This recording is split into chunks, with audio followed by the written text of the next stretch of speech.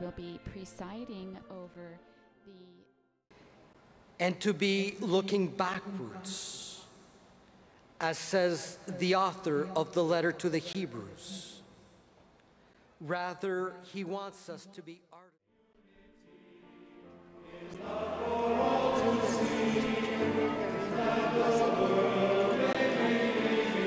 We've also seen a, a bishop of the Ukrainian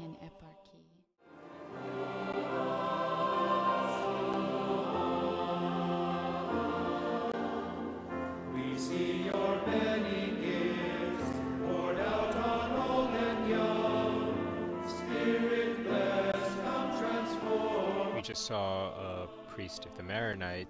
church carrying the Blessed Sacrament back to the altar, having distributed Holy Communion, another reminder of the diversity of the church, the many different rites and nationalities present in Canada, um, which reminds us how the church really is, is meant to be uh, an experience of reconciliation, an experience of unity in the body and blood of Christ.